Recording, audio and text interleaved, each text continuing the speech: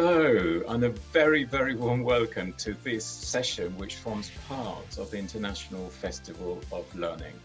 My name is Marcelo Staricoff, and I'm absolutely thrilled and delighted and feel very honored to be leading a session for such a wonderful festival. Now, this session is focuses on a project that we've just um, finished in collaboration with the Michael Aldrich Foundation, called the Image of the Week project. And the idea of the project, as you'll see, is that the children in schools, but then it also expanded to residents in, in care homes and um, residents associated with, with Age UK um, are presented with an image, a work of art every week, and then they get the opportunity to to think through it uh, during the week in terms of develop, um, thinking through the arts using uh, creative thinking and critical thinking.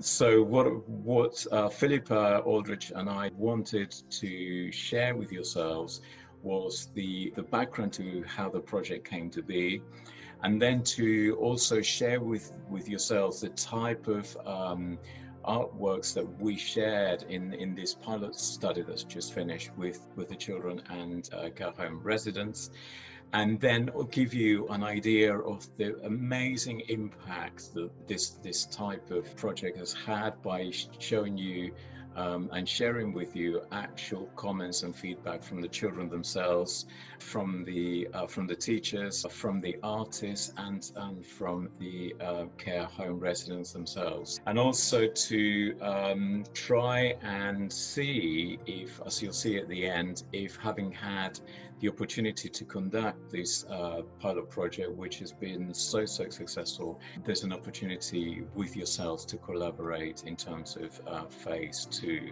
of the project. So let me start by sharing the presentation with yourselves that we've created to show you how the project originated and the types of artworks that we used and the, the impact that the, the project had. So the Michael Aldrich Foundation and the Joy of Not Knowing collaboration project became known as the Image of the Week project. And um, just to put things in a little bit of context, the Michael Aldrich Foundation is, is a Brighton based charity our charity linked to the University of, of, of, Brighton, and Philippa Aldrich is the chair. The collection holds um, a huge number of amazing works of art, and um, Philippa was really, really keen for that collection to be enjoyed by the general public. And uh, the joy of not knowing is a terminology that has now become given to the philosophy education and of school leadership that, that I developed and created during my time as a primary teacher and head teacher. So, in terms of the uh, coming together of the two organizations and developing uh, the project, we, we based the, the partnership and, and the project on a concept that formed uh, one of the main principles and basis of the joy of not knowing or JONK approach as, as it's known whilst it was being developed. Um, and one of the approaches uh, that the, the, the JONK approach encourages children to engage in is uh, a critical is trying to ensure that the, the, children have the opportunity to develop their creative and critical thinking skills as a normal part of the teaching and learning process, as a normal part of the school day. So, although there are hundreds of initiatives that make up the uh, the JONK approach, one of the really really exciting ones is one that's called uh, Image of the Week, and the idea is that every or it used when I was a head teacher, this is from uh, Hertford Infants Nursery School uh, an example of. So every Monday morning at whole school assembly with three to uh, seven year olds in the hall, um, we would present them every Monday morning with a work of art. It could be anything at all. It could be um, painting, a picture, uh, a sculpture, a poem. And uh, the idea was that during assembly, they had a, a time to discuss it all. And then during the week, they had a chance to comment and discuss and think about the, the work of art from uh, a creative thinking point of view. We also had, as you can see here, a, a display uh, in the corridor with post-it notes. So at all times, uh, the children and the adults could leave a, a, a note, a message of, of what they thought uh, of the work of art. And just before we start to explain the actual project that we've just done, I just wanted to show you this, this particular image here because this shows the, the, the power that such a simple to introduce concept as part of the, of the philosophy education of a school can have such an impact on children's um, self-esteem and motivation. At the time that this Image of the Week activity came about in the school, we were celebrating as a Head Teachers Challenge the number of 100. So that it was a 100th day of the academic year and the children were challenged to uh, celebrate number 100 in any way at all. Uh, so this child went with his mum to the to the beach in, in Brighton and collected a hundred things uh, that they found uh, on the beach and then created this most incredible collage and brought it in as part of uh, the submission for the Head Teachers Challenge. As soon as that came in, and because we had the the routine of the image of the week, we, we immediately said that must become the image of the week for the next week for the whole school.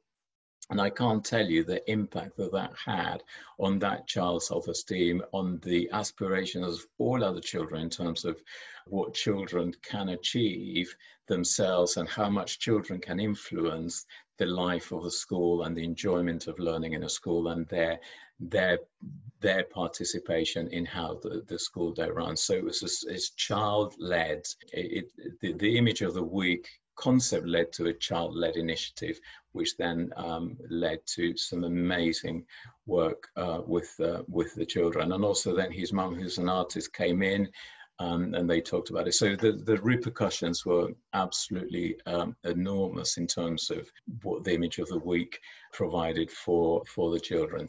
So the idea with uh, collaborating with the Michael Aldrich Foundation was that each, image, each week the image of the week would be uh, provided to the schools from either the, the collection, one of the artworks from the collection, uh, of the Michael Aldrich uh, Foundation or work of art from one of the artists that the Michael Aldrich Foundation uh, supports. The Michael Aldrich Foundation um, is fantastic at supporting uh, young and up and coming artists and uh, opening up a really exciting future for them.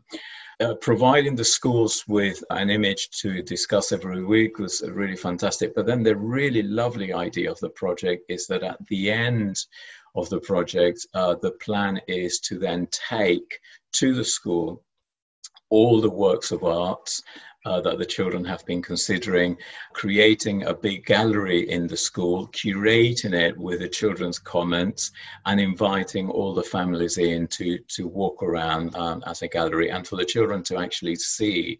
And we've done this before once uh, in, in the school. We bring in real works of art with, with Philippa into the school was, was a tremendous experience for the children actually seeing the works of art uh, in the school. So it gave us the idea of, of taking this out more broadly on a national perspective and giving the, the, the schools the opportunity to, to engage in a very exciting project that brings uh, the, the arts to, in, to the forefront of the, of the focus of the school and of the way that children are able to promote a love of thinking and creative thinking and philosophical thinking in with children. So what we did is that we invited a number of schools in Norfolk and Suffolk, but also some in West Sussex joined in. And also then uh, very unexpectedly, but incredibly wonderfully uh, through Philippa's connections, we also started to widen the project to care homes during the last three months and people who are associated with, with Age UK in uh, East and West Sussex. So um, it was the, the um, so I just want to show you some of the examples of the of the artwork and the responses that were received from the various people who, who took part. Um, so this was um, a really lovely uh, painting that uh, that we provided for the children. I think this was the first one that that uh, that we offered. Uh, Patrick Berg's Five Figures uh, on a red uh, background. As you can see here, um, children of all ages, and you'll then see adults as well of all ages. So it really is a, a, a 0 to 99 um, project that's, that um, that formed this this pilot project. Um, so one of my reception children thought that the characters were queuing for a show because they all dressed uh, smartly. Uh, year ones, um, this is the, the, the, this is the lovely thing that the project had. It, it made children connect uh, knowledge uh, that they had, some, you know, that connection of knowledge and experiences from their real lives was, was so enlightening with this project. As it says here, what year one found that the Hubble Space Telescope was launched the same year that Patrick Berg painted this. You know, how amazing is that?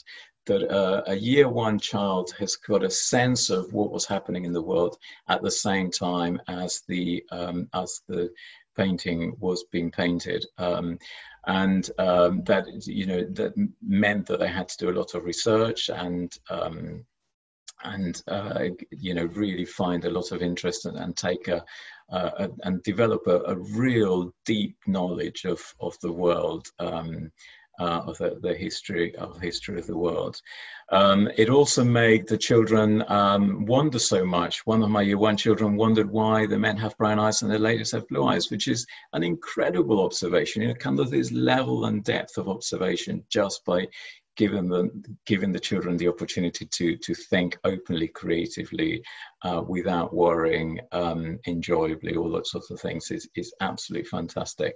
Uh, year five children said when i look at this picture i see a family looks like they're from the 1930s again really using that kind of um, knowledge that, that they may have um, and bringing in, connecting all sorts of things from, from their lives. Um, when I looked at the photo, they looked suspicious because of their suits and it looked really old fashioned. Um, what we found is that in children trying to describe the images and what they saw, um, they also started to develop a, a, great ability in, in writing creatively. So it had a huge impact on, uh, on their creative writing imagination and so on. Um, and I really like this one. So I think their family and members had just got out of an argument um, and they don't want uh, to talk or even look at each other. Such genius thinking, so so creative.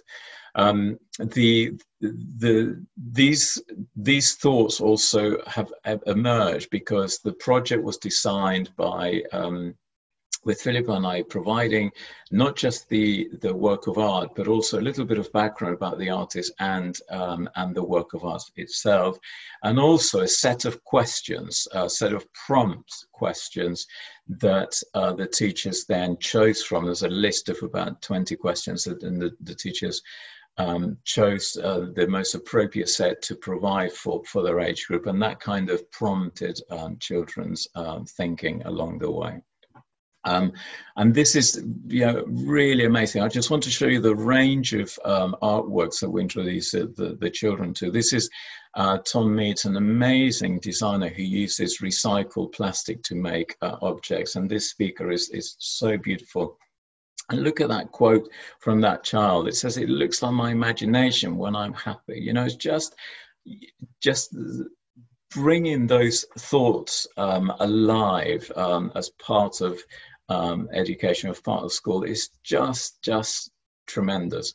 The other thing that the project was made huge value on was that the inter the had a, a, a very big sense of interaction between um, the children, the teachers, and Philippa and I, and the artists. So it connected the children um, to uh, a lot of other uh, people, the the artists themselves, and, and to us by um, uh, giving us feedback along the way, posting that feedback on um, on a private uh, Facebook group, and giving Philippa and I the chance to respond to those children. And our responses to those children, once they made a comment, uh, had such a huge impact.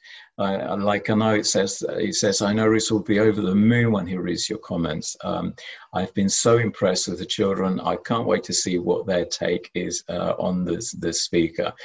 Um, and what we did is, as well, is we we used uh, a lot of the um, works of art to create kind of themes around the project. So this was just one of three um, um, works of art that we did in consecutive weeks that touched upon the theme of um, environmentally friendly thoughts, values, uh, sustainability, um, world um, uh, um, prevention of endangered preventing the, the, disappearance of endangered species and, and, and so on. So uh, it created um, a little, little, gave us the opportunity to create little themes um, for the children um, as well.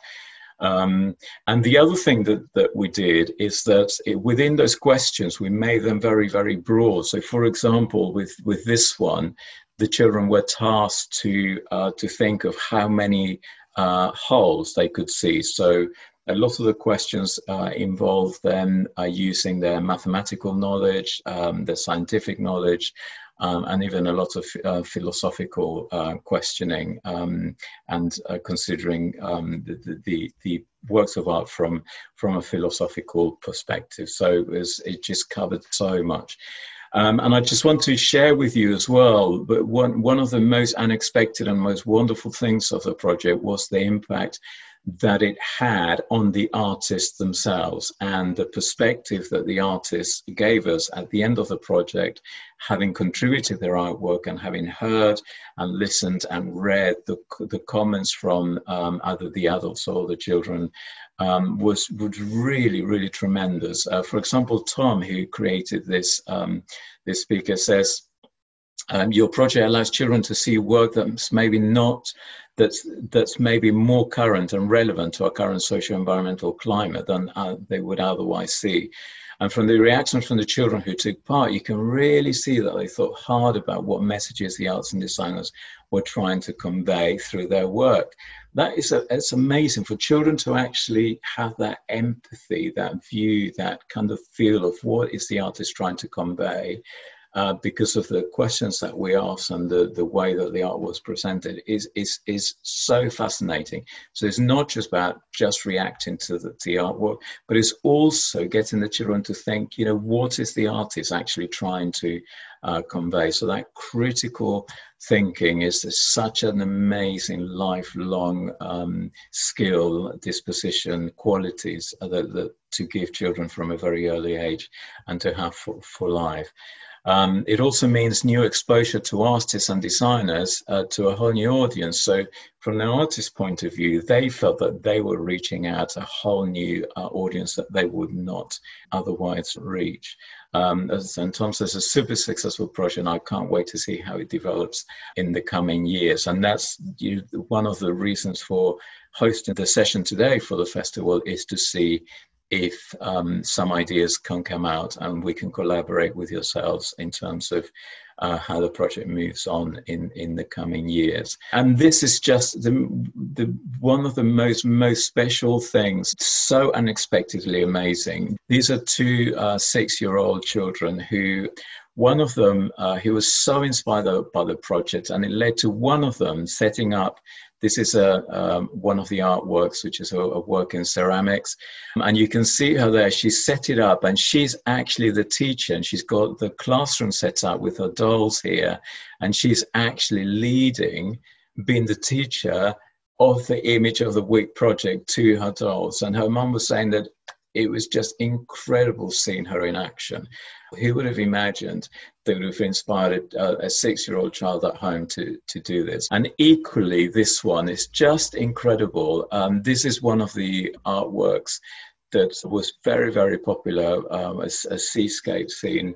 And this is uh, the child not just um, interpreting uh, it uh, verbally and through her thoughts and through thinking, but also being inspired to have a go herself at creating her own interpretation of the actual work of art.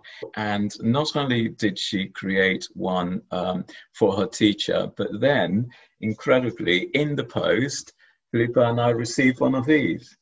So she made one for us as well. To create uh, her own artwork. And, and in other photographs that they sent us, you can see that she set up her own little studio at home and she's got all her paintings and all her, there's everything on the table all set up, which is just absolutely tremendous. Steve Gallagher, who was the photographer who uh, created this seascape, it says something that's so touching and so, so wonderful from uh, his point of view. He says, My entire life has always in some way had an association with the arts, and I think how wonderful. If he said himself, how wonderful it would have been for him to have had a program such as the Image of the Week in place when he was growing up. So the, see as an artist seeing the importance of this project uh, as for, for the children now and wishing it had it has been an extra bonus. I wish them all success and hope it touches people's lives in the same way art has done throughout my time. So those words from an actual artist are so so so wonderful. And like we say with philippa i'm sure that through this we are creating nurturing um, hundreds, if not thousands, of artists um, of the future. And then this is another wonderful example. This is Jack uh, Darling's Black Rhino, which again was part of the environmental little theme that, that we had.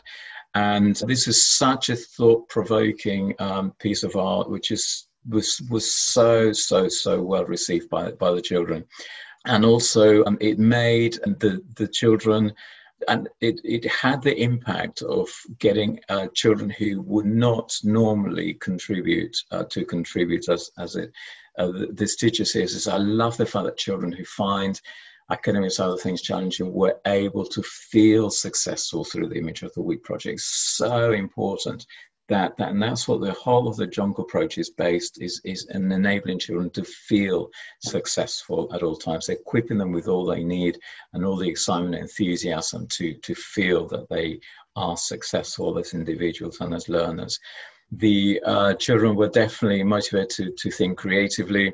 And, and the year one child said that the rhino made him think of something mean as it doesn't look happy.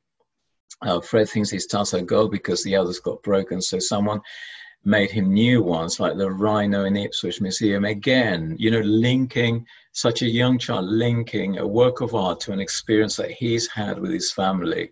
Uh, going to a museum, linking those two things together. And uh, he then goes to say that endangered species um, is an animal that has got not, um, there aren't many left of them, and they might get extinct like the dinosaurs. So the whole concept of um, of endangered species came alive through uh, John Darling's wonderful Rhino. And then he he Jack himself um, contributes some wonderful wonderful comments. He says, "I've collaborated with the Michael Foundation on various and very rewarding projects."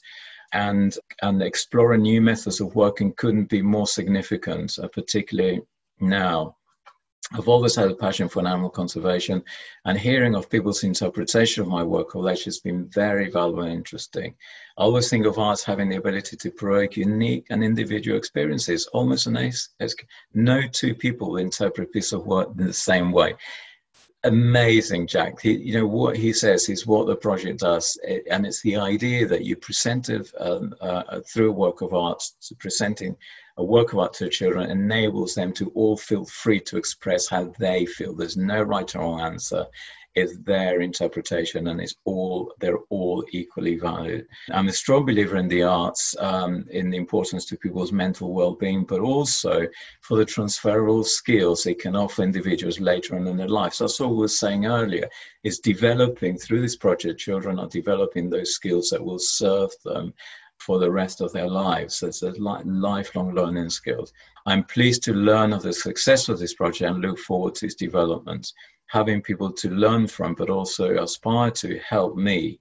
And I hope I've been able to give back in the same way. And Jack absolutely has. He's been able to give um, so much. Um, and this is wonderful as well. Uh, the artists themselves uh, started to create uh, little videos for the children so that the children could actually see how the artist was creating the work of art that they were considering. And uh, Eleanor, who uh, creates uh, shrink pots, which is really fascinating, she says that the project has drawn focus and attention to areas of art that I didn't experience in school, connections between the art, the artists, and the students themselves. Um, so in Eleanor's case, it was so valuable because the children sent uh, Eleanor uh, loads of questions, and then uh, Eleanor recorded the answer to those questions they're speaking directly to the children on the video. Um, they asked detailed, interesting questions that made myself think creatively about my own work and also have some fun with it. So, children promoting creative thinking in artists as well as artists promoting creative thinking in students. This project came at a difficult time, and uh, Image of the Week created a real sense of community and togetherness. And then I also wanted to share with you the, let me just, the, the, the quotes from Thomas Sissons, who contributed the most amazing poem on sustainability as, well to, towards the, the artwork. And, and Tommy says, and the Image of the project is proven to be both enriching and inclusive for learners of all ages.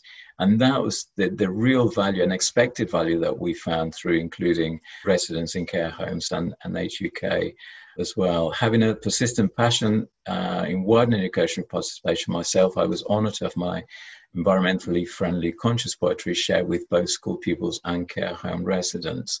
It's crucial to ensure that learners of all ages are introduced to new ways in which they can creatively communicate and express themselves and their experiences. Image of the Week project has effectively presented those opportunities and created a space in which the critical and imaginative thought of students is celebrated exactly, Tommy, is the celebration of that creative thinking. And what Tommy says that, that it's enriched the experience of learners of all ages is, is so true that the teachers were fascinated by it all. Philippa and I learned an enormous amount. I, you know, I had no idea what shrink pots were, how they were made. Every time we offered the, the schools care homes a work of art. We did a huge amount of research and learned an enormous amount uh, from, from each work of art ourselves. And this is just to show you, look how wonderful this, this is. These are uh, care home residents and Age UK uh, residents who are responding to the questions, as you can see here.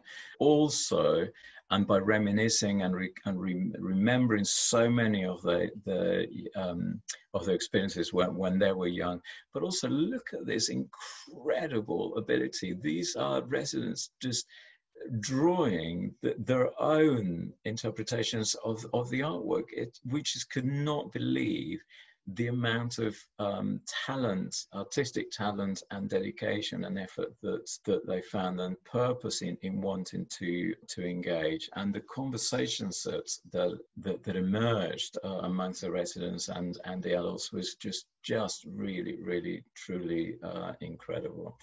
So just as as a summary of the project what we wanted to just highlight that it, it, was a, it was very powerful to use the project in the formats uh, that we did. Unfortunately, we weren't able to conclude it because it, be, it became an online project rather than a, a physical project of uh, at, at the end of which so we couldn't take the the actual works of art uh, to the schools because of the, of the restrictions that, um, that we're living in. But nonetheless, it, it was very, very powerful to use the images as an online version and to accompany those, we felt it worked particularly well when they were accompanied by really well thought out and formulated prompts of, of questions that touched upon many areas of, of art, but also inspired the, the, the people considering the artwork to think very broadly through, through other subjects as well. The flexibility of the format was great. Um, we had to you turn it from from physical, physical project to an online project. And then it just meant that people could a lot more people could have access to it and they contribute to, to facebook or twitter online offline um, and adapted it to uh, very different settings. So the age range really was from 5 to 100 and also the project was meaningful for different people in different ways uh, as can be seen from the feedback that uh, that we received and that we shared because education in its broadest sense across generations and settings, and even for us, um, we learned an enormous number of things as well. Um, and we could see the confidence building in the participants as the project moved forward, and it helped to build connections at a time where people were feeling cut off and isolated. So that social, it did, it had a social impact as well as a cultural impact, which we were absolutely delighted with. And very importantly now is the last bullet point. We're really keen to offer the project out to more schools and other institutions, especially where art funding is under threat and we would like to work with our artists and makers to support their development and practice and widen their audience as well. So this is a very, very open invitation to yourselves. You can contact uh, Philippa and I in, in all these ways. If you're interested at all, we're preparing to launch the next stage of, of the project. If you're interested at all in forming part of it or have some suggestions uh, with the Image of the Week project and its future, please uh, let us know. So um, I hope that uh, that you've really uh, enjoyed the session. I hope that you've really enjoyed uh, hearing about uh, this very exciting uh, project, and um, I really hope that um, we could make this uh, the beginning of some very exciting new collaborations.